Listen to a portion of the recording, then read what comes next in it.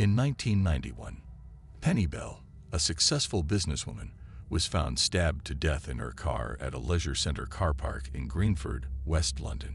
Earlier that day, Penny had left her home abruptly, telling her builders she was late for an appointment, a detail that added to the mystery as no appointment was ever confirmed.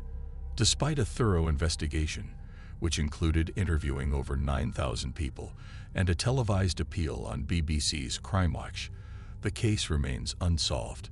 The murder weapon was never found, and the motive behind the attack remains unclear.